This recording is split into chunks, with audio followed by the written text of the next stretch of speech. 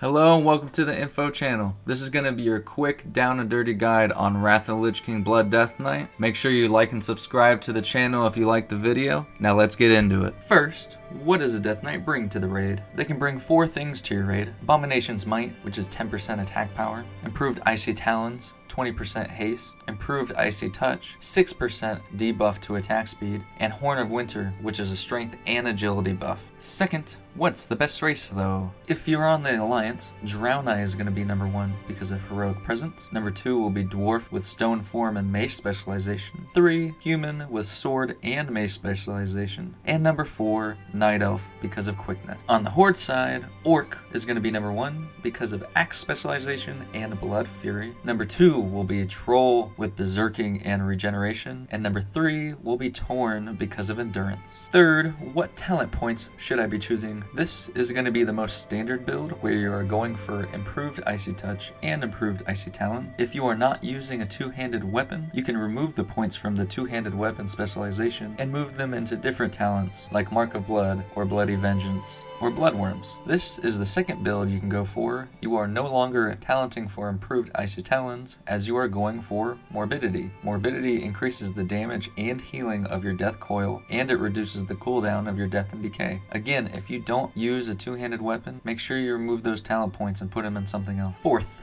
your glyphs. Your major glyphs should be Dark Command, Vampiric Blood, and Disease. If you are going more for AoE, you can replace Vampiric Blood with Death and Decay. Your minor glyphs should be Horn of Winter, Raise Dead, and Pestilence. 5 what's my rotation? For your opener, you're going to want to make sure you have that Frost Presence active. Start by using Army of the Dead, then Horn of Winter, then Death and Decay. After that, we're going to move into our single target DPS rotation. Single target is very simple. Use Icy Touch to maintain your aggro, Pestilence to maintain your Blood Plague and Frost Fever, Death Strike to heal yourself, and then you should keep Blood Tap, Empowered Rune Weapon, Hysteria on cooldown at all times. AoE, use Death and Decay, Icy Touch, then Plague Strike, Pestilence to spread the disease diseases, and then blood boil. These are your cooldowns. You should use these anytime a significant amount of damage is coming in that you know is coming in. Rune Tap, Vampiric Blood, Icebound Fortitude, Anti-Magic Shell, and Death Pact. 6. Best consumable. For flasks, and elixirs. The best one is going to be Flask of Stoneblood. Some alternatives that you could do is Elixir of the Mighty Agility, Elixir of Mighty Defense, and Elixir of Protection. For food, the best food is going to be the Dragonfin. Some other alternatives is the Super, Snapper, Extreme, and the Worm Steak. Potions,